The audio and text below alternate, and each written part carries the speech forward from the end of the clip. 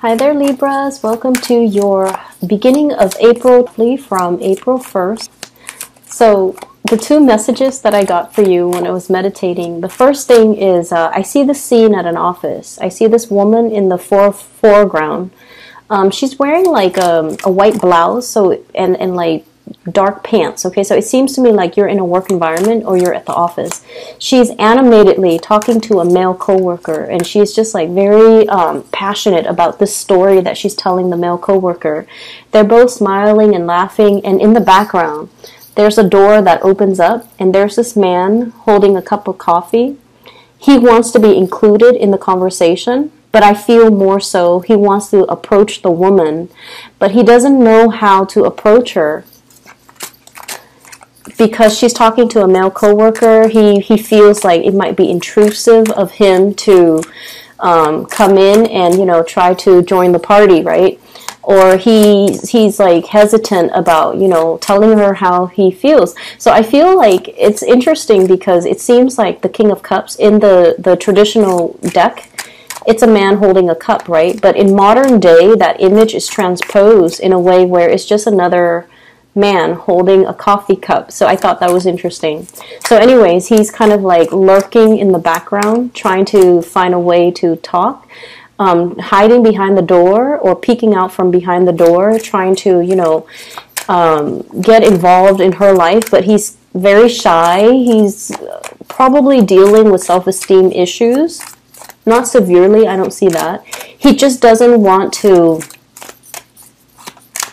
he, he just doesn't want to interfere in case that male coworker is somebody that she's interested in or just in case the male coworker likes her so he doesn't want to you know cause any problems. So for you guys it would be really interesting if uh, the king of cups or the knight of cups shows up in this deck. But we'll see. Um, i feel like for you guys you could be the woman that's getting the attention or you could be the man in the background. Because when I think of Libras, I always think of somebody who's like um, completely inoffensive. Okay, it's somebody who's like uh, really sociable, very nice, very polite, very um, just like politically correct. Okay, you don't want to interfere. You don't want to say anything harsh to anybody. You're just incredibly inoffensive. Um, inconspicuous as well. You kind of blend into your background environment. And I, I, I always feel like, so once again, it could be you that's in the background lurk, lurking, wanting to approach somebody, or it could be you, the one getting a lot of attention. The man in the background, he's wearing a pink shirt. He has darker hair. He's wearing a pink shirt.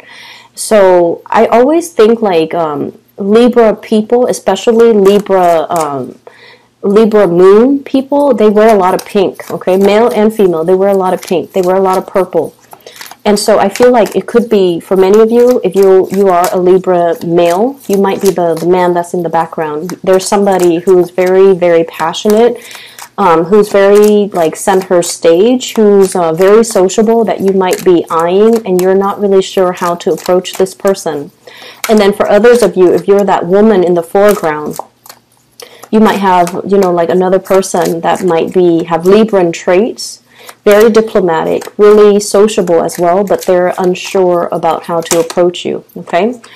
Um, so that's what I'm feeling here. Yeah, there's definitely new passion that you've got coming into the picture. I feel for some of you, you might have emerged from like a separation, a breakup, or a divorce. You're getting yourself back into the dating field, and you know the the initially uh, when we've been like single for a long time, or if we've been in a relationship for a long time, we might not know how to flirt. We might not know how to, um, we might not even know if a person is, that we're interested in likes us or if they're flirting with us. So I do see this energy here, heavy energy about flirtation, but trying to do it the right way and not really knowing when somebody likes us or if somebody's just being friendly. So I do see a lot of that. Um, there is another scene that I, I saw um, after that. Um, this woman in a garden, okay? So, like, it's a really, really nice um, warm day. She's uh, mixed, like she's prepared a, a pitcher of lemonade. She's uh, plucked flowers from her garden, like daisies and, you know, just really nice flowers. I, I see some peonies. Um, and she put in put all the flowers in a vase, fills up the vase, puts it in the center of the table. It's a round table. She's outdoors in her garden. It's like patio furniture. Um, and she's prepared a pitcher of lemonade. And as she goes to sit down, she's like, Oh, I need two cups. So she gets two glasses and they're empty. And so I feel like you're expecting visitors, you're expecting, you're beautifying your environment because you're expecting somebody to come visit. Or you are anticipating a visit with another person and you're creating kind of like the perfect environment that you feel would be very visually pleasing to the other person. But either way, I also feel like this energy about, you know, having company over, socializing, um, restarting or resetting your social life. So that could be socializing slash dating, um, inviting people into your home, trying to deepen a relationship, trying to get to know somebody a little bit more, trying to keep in mind the first scene was. Um, you know, somebody who's like uh, in a more work environment, she's surrounded by other people. So the man in the background, he's not really sure how to approach her. So I feel like in the second scene, it's more like trying to create that environment to single out the object of your affection so that you have more alone time with them, making the time, creating a really visually just um, abundant type of environment so that you can invite somebody in, so that you can put them at ease, so that you can, you know, talk to them and have alone time with them because there are only two cups on that table. So I definitely feel like you're in a position where you are um, either flirting with somebody or inviting them into your home or expecting guests, okay? That's what I'm feeling here. Last card. Okay. So let's see what we have here. The card that really struck out, or well, really stood out to me, or really struck me, was um, when it first came out here. I have the High Priestess and the Hermit. The High Priestess is about this sense of inner knowing, okay? This sense of like our intuition is working overtime, telling us about a situation to tell us like somebody is the right one or to warn us about a situation. It can go both ways. And I have the Hermit, and the Hermit is a card about spirituality. It's about your spirit guides working behind the scenes to show you something, okay, to kind of guide you in a specific direction. And with them both looking at each other, looking at each other, I almost feel like you're being shown a situation and you know which way that you're supposed to go. I feel like for many of you, there is a situation here in your life that is creating this Nine of Swords. Okay? The Nine of Swords deals heavily with mental energy that keeps like replaying in our mind, in our head, and we're not really sure how to break out of this feedback loop. Okay? So we're feeling like if I do this, the other thing's going to happen. And I also feel for many of you, there might be some situation here on top of the Hierophant. And the Hierophant deals with institution, it deals with um, expectations, and it deals more with, like, especially family expectation. Family wants us to do one thing when our heart and our mind wants us to do another. And I also feel like this is the month where you kind of have to drown out other people's energies, other people's expectations, drown out the noise, and just really focus on what you need to do. For many of you, I feel like you might be on the older uh, age spectrum. Um, you might have gotten out of, you know, like like I said, I feel like I'm getting an energy of a group of people that have been single for a really long time, and you're getting out dating. You're getting out into the dating world, and you're almost like trying to find that more practical relationship, the the more practical relationship partner. Uh, you're looking for companionship. You're looking for somebody that you know you might not like want to get married, might not want to you know go whole, through the whole spiel again with the family planning, um, you know, joining up your finances, joining up your assets. You might have recently gotten divorced, you might have been separated, and uh, you're getting into the world trying to date again. And what you're really after is a lot of compatibility. You're not trying to go wild. You're not trying to like uh, find somebody who wants to, you know, hit the club every weekend. You're not trying to find somebody who who who's still trying to find their way in the world. You want somebody who's already where you're at, who's like meeting you where you're at. Somebody who, you know, have hobbies, they have a lot of things that you both can talk about. They have common interests. You're finding you're trying to find that relationship that is a lot more compatible. So in the back of your mind, it's almost like I'm looking for companionship. I'm looking for compatibility. But there is another on the flip side of that, which is the ace of rods. This is passion, chemistry. This is like a budding new romance that many of you have um, found yourself in, okay? And so, on the one hand, we're looking for a safe choice, and there might be a safe choice that's coming in, somebody that you know is already on your same page. They've been there, they've done that, and you know, you feel like this could be, you know, the, the perfect life partner moving forward. You might need not need to, you know, get into the whole marriage, children, uh, settling down, joining up your bank account. This could be somebody who's sufficient on their own. You're sufficient on your own. You both need a lot of quiet time and you both need a lot of space. And you feel this is a safe choice, but there's another choice that's really beckoning you. And it denotes to me great passion, great chemistry coming through between you and another person that you might have been trying to downplay or you might have felt like it was a missed opportunity. It's linked up here with the Five of Cups, which indicates to me that for many of you, you feel like this person might not be a safe enough choice for you. They're very passionate they're very um, they're they're they're very social and so you might not feel like they've gotten the partying the the the you know um, the wild phase or the wild streak out of their system just yet you might feel like they still have a lot of grown up to do there might be an age difference, and so you're feeling like you have to forego this relationship because they haven't really figured things out yet. But you're really passionate about this person. This person stirs you in a way that no no one else has stirred you in the past. And because of that, I feel like you're feeling slightly off kilter, or you're feeling like this might not be the safe bet, or this might not be a safe choice. So I feel like, you know, once again, there's this trepidation about um, asking somebody out on a date or wanting to get involved with another person or wanting to talk to a person but feeling like they have a lot of suitors or feeling like um, the environment is disallowing a closer connection, is disallowing one on one interaction. Um, I'm seeing a lot of interference getting in the way. Okay?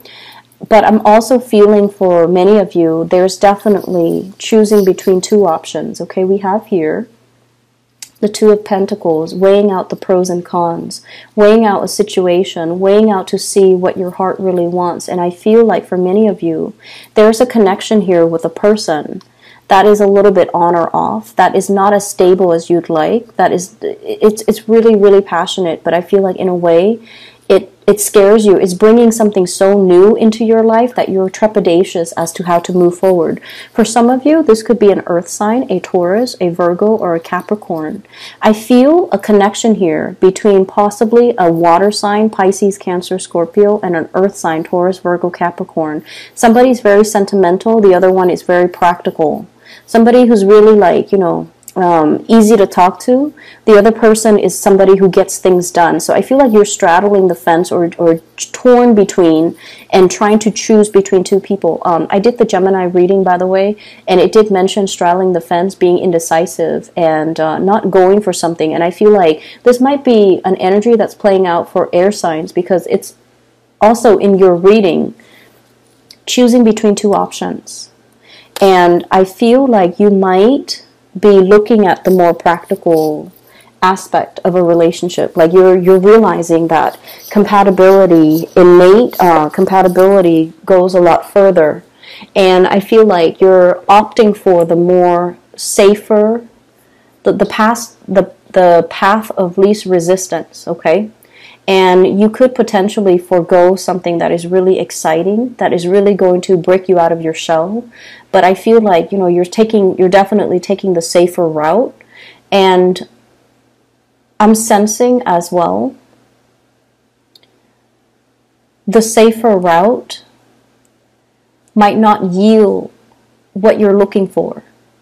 So I feel like whatever decision that you're making right now, you want to think about it a little bit longer and you want to really be honest with yourself, you know, why am not why am I denying this passionate side that this person is stirring up within me? Why am I foregoing that? Why does that scare me? Because I feel like the reason why you're you're looking at this person as if, you know, are they going to stay around? I feel like there's an element here about age difference between you and a significant other or you and somebody that you're interested in. And you're you might be judging them based on their age rather than based on their life experience.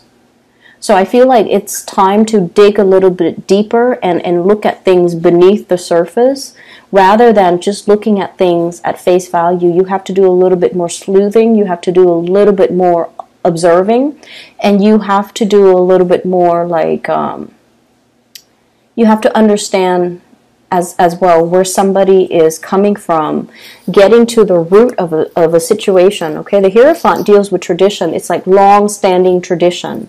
It's somebody, it, it's, it's a situation that is like um, all the parts make up the whole.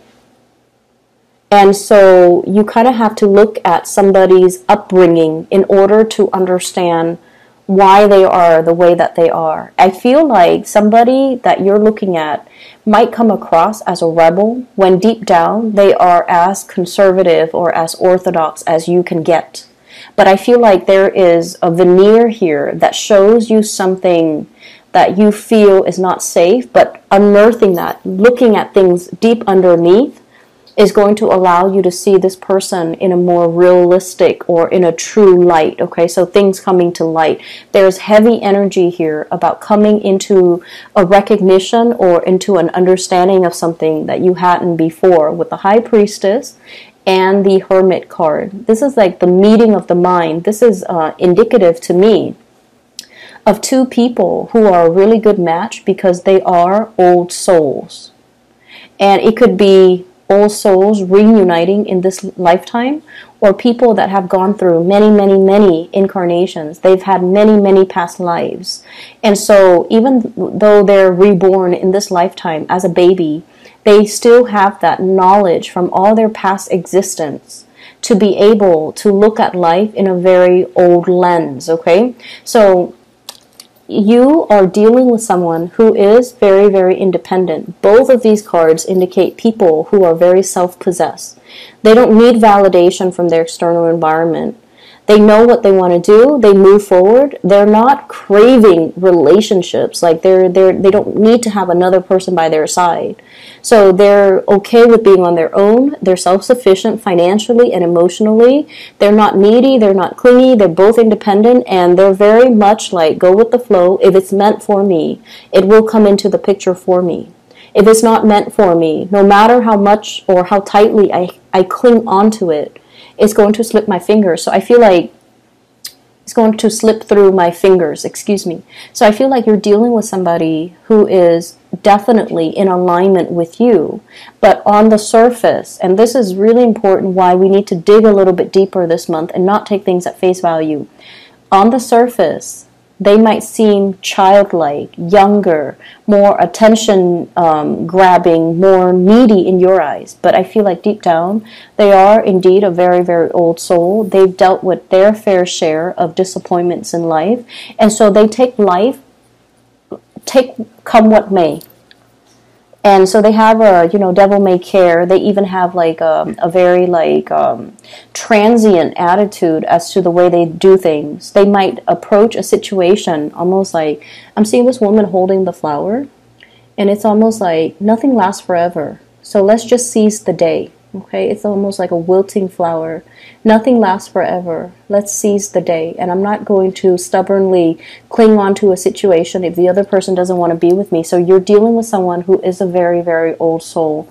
They have a lot of self awareness. At face value, it might seem like they don't, but I feel like deep down, there's this magnetic pull constantly um, converging. Like it, it's almost like everything conspiring to bring the two of you together. And for whatever reason, Libras, I feel like you've been fighting it. Okay. Um, I'm also seeing as well a, a family situation. Could be divorce, could be marriage, could be family expectations. All of those things. It's like a whole ball of yarn. It's complicated. It's it's complex it's all wrapped up together. I'm seeing situations where there might be like estate planning. So somebody might have passed on, and there's like a lot of uh, things coming up in wills. Okay, the high priestess usually, you know, she holds a scroll, and I always think of that as like assets, uh, estate planning, wills, and testaments, and and things that needs to be sorted out. Uh, after a demise of a situation, it could also indicate like legality, um, legal issues, as well as like uh, trying to divvy up assets, okay, especially property, like housing. Um, so I, I, feel like all of those things getting involved in the picture. And then I also feel for those of you who have children, grandchildren, children, you're trying to leave um, a lasting legacy. You're trying to figure out and you're trying to decide if I leave the home to the, the, the child, you know, or the grandkids, or to whoever it is, I have this really beautiful home. If I leave it to this child, will he or she take care of it? Or will they just sell it, take the money, and, you know, leave and squander the money? So I feel like you're seriously looking at somebody's character to decide what to bequeath them. That's what it seems like because you don't want them to make the wrong choice and because you have sentimental ties to the things that you're giving away and you hope that they would make the best uh, best decision or the best um, they, they would do right by you but you're not really sure. So you're still at the stage where you're kind of like trepidatious okay? Um, i'm also feeling as well for many of you uh, on the other other end of the spectrum I feel like there's a lot of um, information coming through, like in a, um, it's like spiritual messages coming into the picture. We have, let's see, four, five major arcana cards that are in the picture the Hermit, the High Priestess, all indicative of, you know, spirituality. We have the Temperance card telling you to be patient we have the wheel of fortune, which means the wheel of fate is turning so that a situation can come together. And I feel for many of you, there might be a new job in the making. If you have been, you know, financially uh, in in the red, or if you have been like piecing together odd jobs in order to make ends meet, there is a big job coming into the picture. We have the Page of Pentacles. This is the apprentice. This is still something fairly new that you have to learn, that you have to be trained for, that you have to, you know, kind of like build up towards.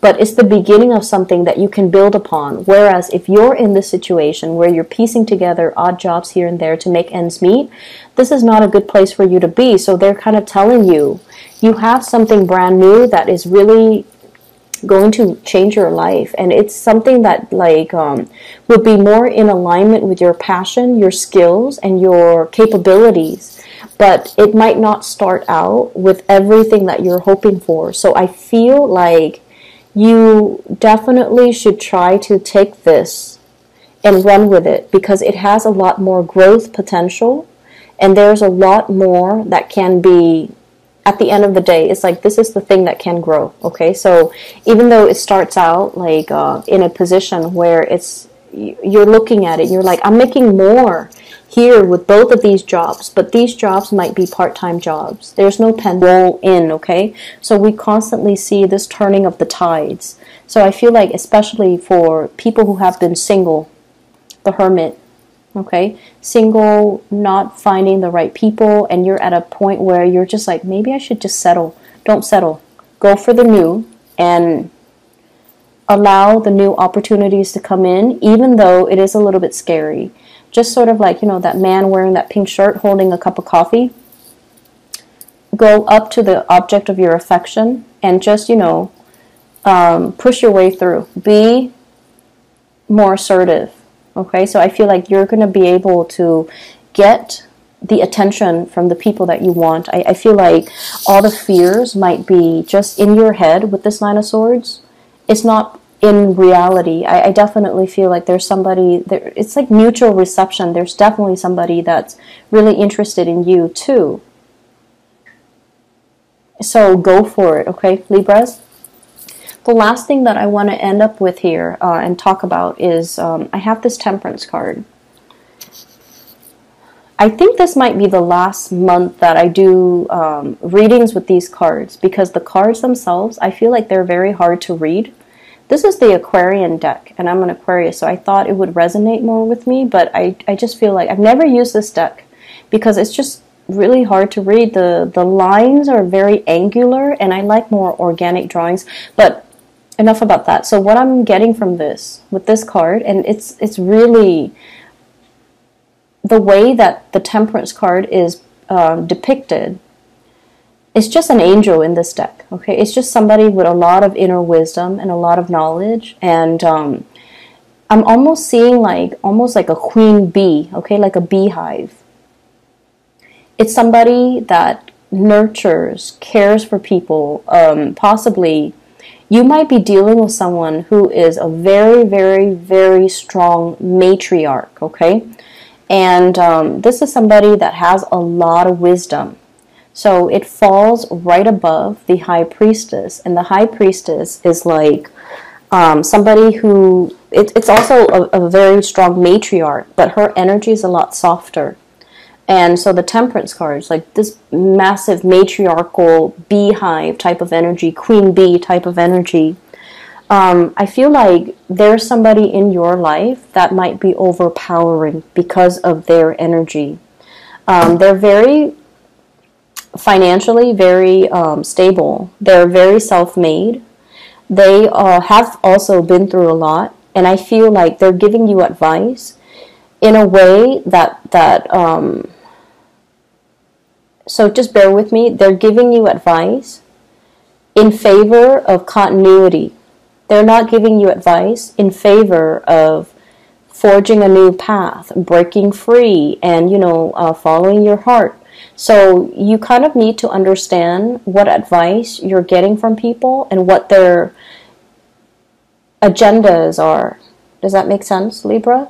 See both sides of the coin, okay? But especially, you have to understand where the other person's coming from and whether or not they're giving you advice that might be self-serving. So I, I, I'm seeing somebody who is a stickler for tradition. They're trying to uphold, they're trying to maintain that beehive. They might be trying to hang on very, very tightly to their